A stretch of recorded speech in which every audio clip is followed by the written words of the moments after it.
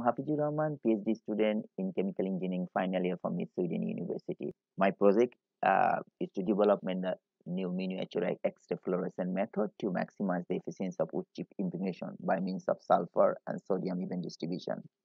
As we know, the efficiency of impregnation is very crucial and it is very much challenging to create a process technology that gives an even distribution across the wood chips of the sodium sulfide containing liquid used for impregnation.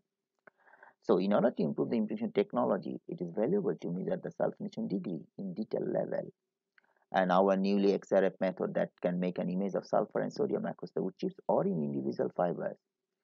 Actually, we think this method can become very useful in future pulp paper industry to improve process efficiency, production properties, or to find the solution of process problem. Moreover, a more even distribution of the sulfonation can reduce the specific energy demand in chip refining.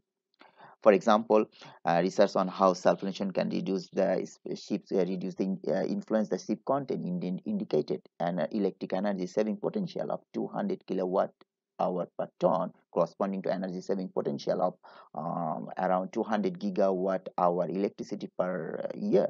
So as uh, whereas swedish ctmp production is yearly one metric ton.